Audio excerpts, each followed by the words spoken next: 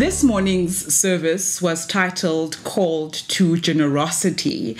As a Xhosa woman, generosity means izibele. And I was very curious this morning to know what generosity from a Christian perspective actually is. Could you please elaborate on that for us?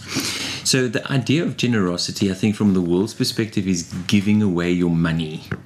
From a Christian perspective, it is about putting others first. So it's the concept of having the humility of Christ that you don't only look after your own things, but you look out for the needs of others. So, does it include money? It, it will, but it is being mindful of others above yourself and being generous in all of those areas. One of the most interesting things I listened to this morning was the topic about the tithe, and it hit a nail. It hit home literally, purely because I could look at my own personal life as Anela, and I was able to see where the challenges are from a tithing perspective. I always look at my income and I'm like, Lord, I earn a hundred rands a month.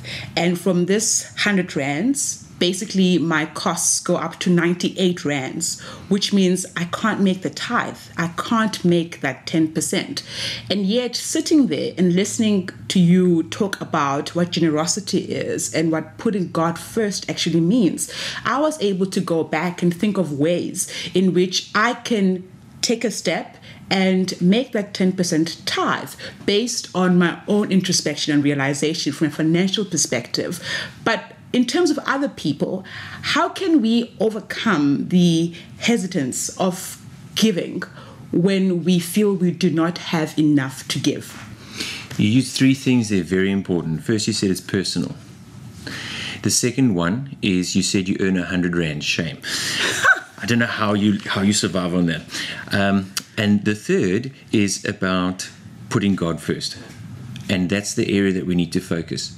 So the, it's the part that I love.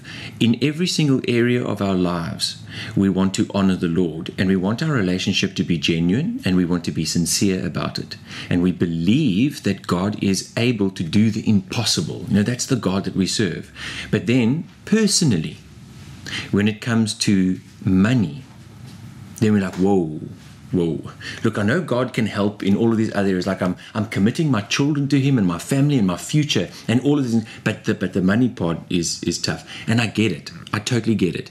And that's why it's difficult to share these messages because there's so much manipulation, so much misunderstanding, there's so much exploitation, there's so many things that have happened historically where churches have a bad rap about what they have done with money. Ministers have been terrible with money, and the whole church environment is difficult. And it's nothing new. So, the nation of Israel, with the priests, they used to tithe to the temple. But you must read some of the priests that were running the temple and what they were doing. It was shocking. It was so bad. But not once did God say to the nation, Stop tithing. Because the tithe is not about what the temple receives, it's a personal thing that you give. And it is one of the easiest, and this is what I love, it is one of the easiest ways for you to put God first and to mean it. When I say easiest, there's something that sits there that's like, ugh, I don't know if I can. What about, I mean, we all have responsibilities. I have a family, I have children, I have things that I have to pay. So, how do I tithe and put God first when I've got all of those? And amazingly, even with Justine and I as, as a couple, it's still a personal thing. I don't go to her and say, Well, uh, have you tithed now this month? It's between her and the Lord. But when we put God first and we, we do that, and we have been doing that now for the last six, seven months, we've been doing it really, really properly. It's amazing how everything changes because it changes your thinking and it genuinely does. So that the things that you used to think were important, you realize, but hang on, that's not important. And there are other things that are more important than that. And how am I going to get to those things? And it all happens when you put God first.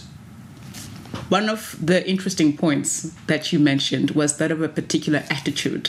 The attitude being what's what's mine as a congregant is also yours, which means that I can give freely because it's not entirely mine. And this comes from understanding that God provides everything we have. So we are basically all of us married in community of property What's yours is mine, what's mine is yours. But to be honest, this is a very unnatural thought. It's not natural for us to think that way. So, how can we learn to submit, Warren, to that unnatural thought?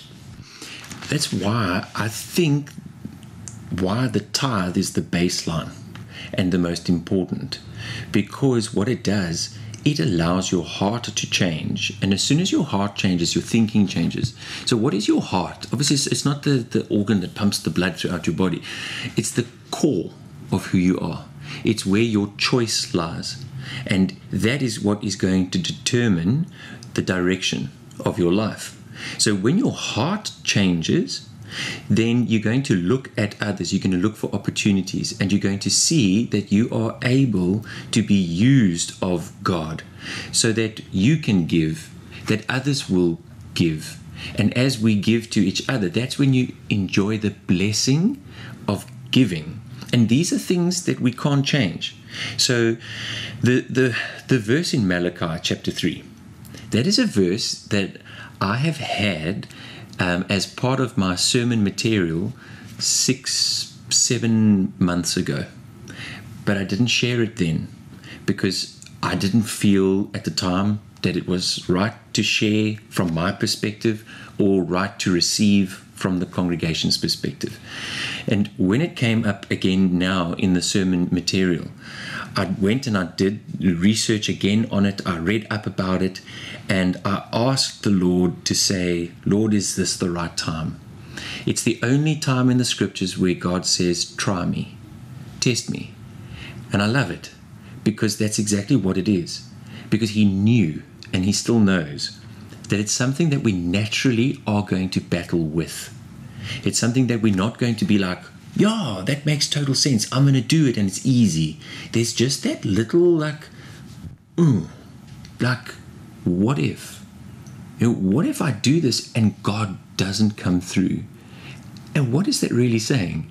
Is the God of the universe who provides all things, but yet I'm not willing to trust Him in this area.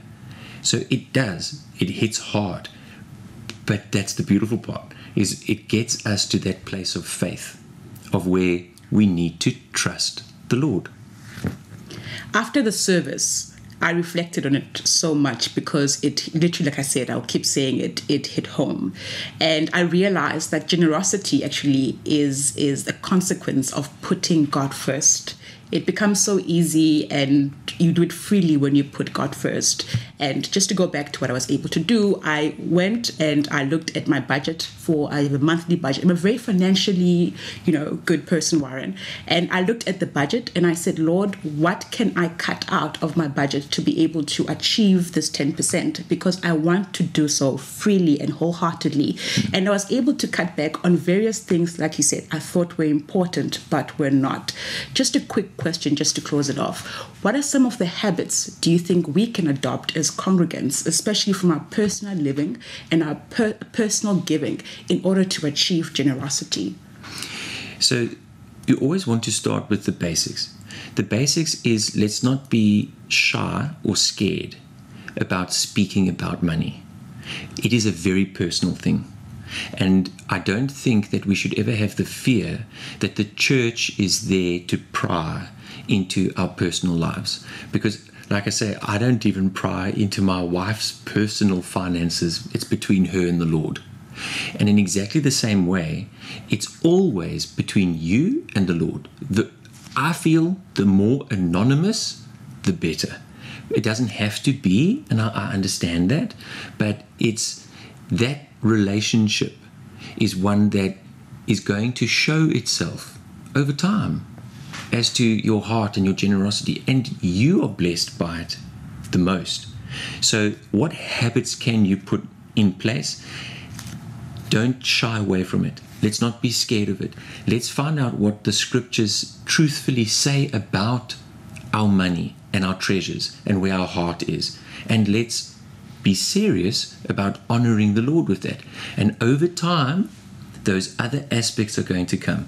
And we are going to rejoice when we're able to see how God is able to use our simple obedience in such in such a basic and natural and physical way. I mean, this is not a massively spiritual thing when you're talking about money. It is the whole world uses money, runs on money, but yet it has such spiritual value, which is so beautiful. And God is able to use such a basic worldly thing to teach some of the most beautiful lessons. And that's what we look forward to.